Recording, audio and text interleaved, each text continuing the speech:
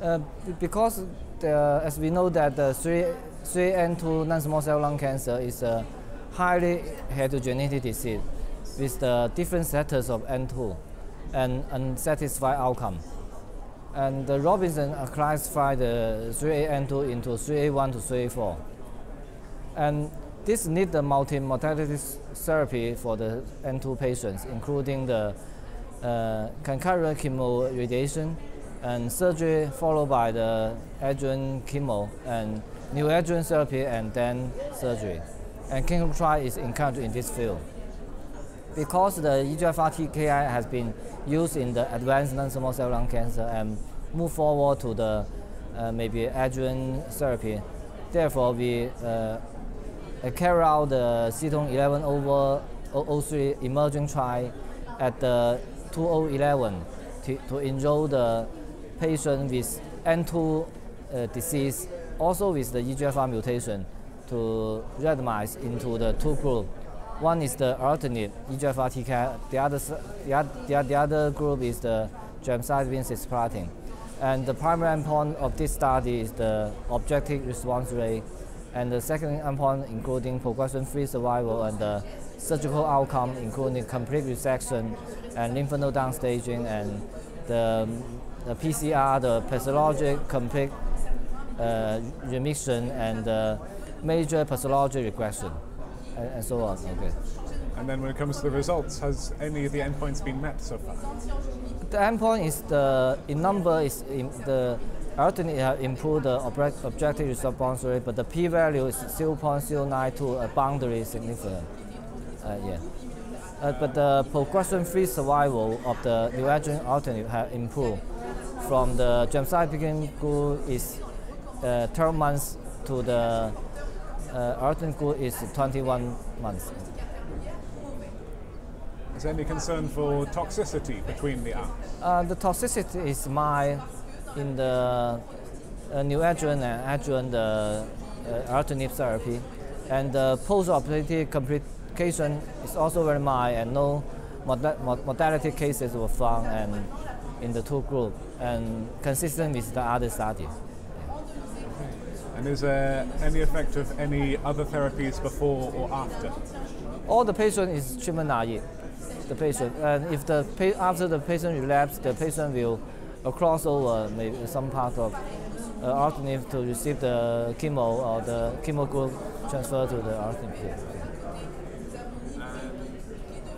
So can I just double check, how many patients were involved in the trial? Uh, uh, totally there are uh, 386 patients were screened and finally uh, 72 patients were randomized and one patient withdraw the consent. The uh, 72 in the ITT population and 71 in the safety analysis population. So, with these lessons, the PFS going from 12 months to 21 months, these are they sound significant. Uh, it, uh, the, the progression-free survival is significant. And also we will uh, go on with the follow-up. Maybe there will be some update about the progression-free survival and the OS data. Okay. What is the timeline for follow-up? Two years, five years? Timeline follow-up uh, every three months. After the surgery, every three, one, three months we will perform the checks and abnormal CT scan. And every half year, uh, the brain enhanced MRI, and uh, every one year have the bone scan. Okay. That covers, I think, some of the outcomes.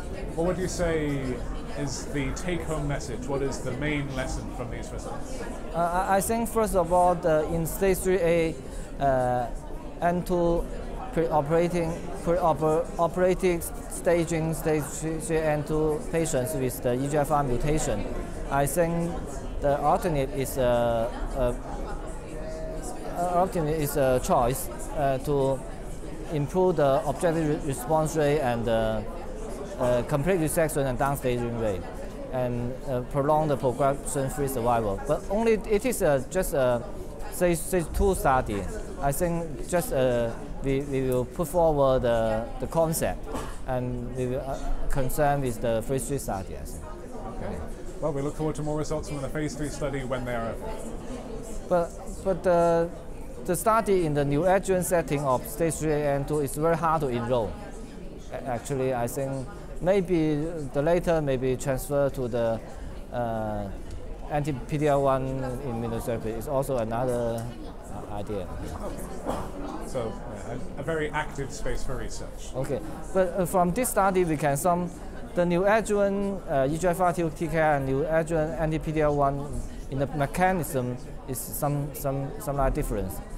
In the tissue sample, in surgical tissue sample, we we collect we found that after the neoadjuvant erlotinib therapy, the size of tumor cells has decreased and some infiltrating lymphocytes is gathered and enriched in the uh, around the tumor. Yes, we've heard lots of research suggesting tumor infiltrating lymphocytes as the next biomarker to be aware of. The, the biomarker analysis including blood, blood sample and tissue sample will be, we have the further research in the later.